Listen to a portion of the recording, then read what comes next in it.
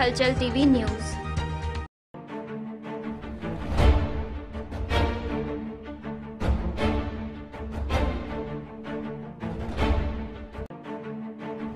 ਲੁਧਿਆਣਾ ਵਿੱਚ ਹੁਣ ਗੱਡੀਆਂ ਵਿੱਚ ਬੈਠ ਕੇ ਸ਼ਰਾਬ ਪੀਣ ਵਾਲਿਆਂ ਦੀ ਖੈਰ ਨਹੀਂ, ਕਿਉਂਕਿ ਲੁਧਿਆਣਾ ਪੁਲਿਸ ਹੁਣ ਇਸ ਨੂੰ ਲੈ ਕੇ ਸਖਤ ਕਾਰਵਾਈ ਕਰਨ ਜਾ ਰਹੀ ਹੈ, ਜਿਸ ਦੇ ਤਹਿਤ ਪੁਲਿਸ ਵੱਲੋਂ ਬੀਤੀ ਦੇਰ ਰਾਤ ਲੁਧਿਆਣਾ ਦੇ ਪੋਸ਼ ਇਲਾਕੇ ਸਰਾਭਾ ਨਗਰ ਹੀਰੋ ਬੇਕਰੀ ਚੌਂਕ, ਕੈਨਾਲ ਰੋਡ, ਪੱਖੋਵਾਲ ਰੋਡ ਆਦਿ ਤੇ ਪੁਲਿਸ ਵੱਲੋਂ ਗੱਡੀਆਂ ਚੈੱਕ ਕੀਤੀਆਂ ਗਈਆਂ ਨੇ ਅਤੇ ਗੱਡੀਆਂ ਵਿੱਚ ਬਹਿ ਕੇ ਸ਼ਰਾਬ ਪੀਣ ਵਾਲਿਆਂ ਤੇ ਸਖਤ ਕਾਰਵਾਈ ਕੀਤੀ ਗਈ ਹੈ।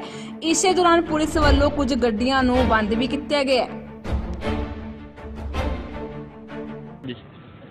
ਇਹ ਜੀ ਅਸੀਂ ਇਹਦੀ ਡਰੰਕ ਐਂਡ ਡਰਾਈਵ ਦੀ ਜਿਹੜੀ ਹੈ, ਇਹ ਜ਼ੋਨ 3 ਵਿੱਚ ਚੈਕਿੰਗ ਕੀਤੀ ਗਈ ਹੈ, ਜਿਹਦੇ ਵਿੱਚ ਅਸੀਂ ਸਰਾਭਾ ਨਗਰ ਮਾਰਕੀਟ ਤੇ ਕਨਾਲ ਰੋਡ, ਤੇ ਇਸ ਤੋਂ ਇਲਾਵਾ ਹੀਰੋ ਬੇਕਰੀ ਦੇ ਕੋਲ ਜਿਹੜਾ ਏਰੀਆ ਹੈਗਾ। ਜਿੱਥੇ ਕਿ ਜ਼ਿਆਦਾ ਲੋਕ ਜਿਹੜੇ ਗੱਡੀਆਂ 'ਚ ਪੈ ਕੇ ਸ਼ਰਾਬ ਪੀਂਦੇ ਨੇ ਤੇ ਚਿਕਨ ਵਗੈਰਾ ਖਾਂਦੇ ਨੇ ਉਹਨਾਂ ਦੇ ਉੱਪਰ ਰੇਡ ਕੀਤੀ ਗਈ ਹੈ। ਤੇ ਇਹਦੇ ਵਿੱਚ ਤਕਰੀਬਨ ਅਸੀਂ 9-10 ਗੱਡੀਆਂ ਜਿਹੜੀਆਂ ਹੈਗੀਆਂ ਇੰਪਾਊਂਡ ਕੀਤੀਆਂ ਗਈਆਂ ਨੇ ਤੇ ਇਸ ਤੋਂ ਇਲਾਵਾ ਨਾਲ ਚਲਾਨ ਵੀ ਕੀਤੇ ਗਏ ਨੇ। ਸਰ ਕਿਹੜੇ ਕਿਹੜੇ ਏਰੀਆ ਜੋ ਇਹ ਸਰਾਭਾ ਨਗਰ ਮਾਰਕੀਟ ਇਸ ਤੋਂ ਬਾਅਦ ਕਨਾਲ ਰੋਡ ਤੇ ਇਸ ਤੋਂ ਇਲਾਵਾ ਹੀਰੋ ਬੇਕਰੀ ਚੌਂਕ ਦੇ ਕੋਲ।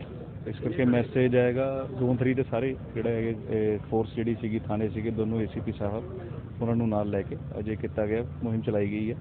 ਤੇ ਲੋਕਾਂ ਨੂੰ ਮੈਸੇਜ ਹੈ ਕਿ ਜਿਹੜੇ ਗੱਡੀ 'ਚ ਬੈਠ ਕੇ ਸ਼ਰਾਬ ਜਿਹੜਾ ਪੀਂਦੇ ਹੋ ਇੱਕ ਅਪਰਾਧ ਹੈ ਇਹਨੂੰ ਨਾ ਕੀਤਾ ਜਾਵੇ ਤੇ ਜਿਹੜਾ ਕੋਈ ਰੂਲ ਤੋੜੇਗਾ ਤੇ ਲਾਅ ਨੂੰ ਆਪਣੇ ਹੱਥ ਵਿੱਚ ਲਏਗਾ ਉਹਦੇ ਖਿਲਾਫ ਐਕਸ਼ਨ ਲਿਆ ਜਾਏਗਾ। ਸਰ ਕਿਹਨੇ ਲਾਉਂਦੇ ਨੇ ਆਪ ਤੋਂ ਡਰਿੰਕ ਕਰਕੇ ਰੋਟੀ ਗੱਡੀ ਚਲਾਉਂਦੇ ਨੇ ਐਕਸੀਡੈਂਟ ਕਾਰਨ ਵੀ ਹੁੰਦੇ ਨੇ। ਉਹੀ ਕਹਿ ਰਹੇ ਹਾਂ ਕਿ ਜਿਹੜਾ ਵੀ ਲਾਅ ਤੋੜਦਾ ਹੈ ਕਿ ਇਹਦੇ ਨਾਲ ਐਕਸੀਡੈਂਟ ਵੀ ਹੋ ਸਕਦਾ ਉਹਨਾਂ ਦੀ ਆਪਣੀ ਜਾਨ ਵੀ ਖਤਰੇ 'ਚ ਜਾ ਸਕਦੀ ਹੈ ਤੇ ਉਹ ਦੂਜਿਆਂ ਦੀ ਖਾ- ਜਾਨ ਨੂੰ ਵੀ ਖਤਰੇ 'ਚ ਪਾਉਂਦੇ ਨੇ। ਇਸ ਕਰਕੇ ਅਸੀਂ ਬੜਾ ਸਟ੍ਰਿਕਟ ਐਕਸ਼ਨ ਲਿਆ ਤੇ ਅੱਗੇ ਵੀ ਇਹਦੇ ਤੇ ਲੈਂਦੇ ਰਵਾਂਗੇ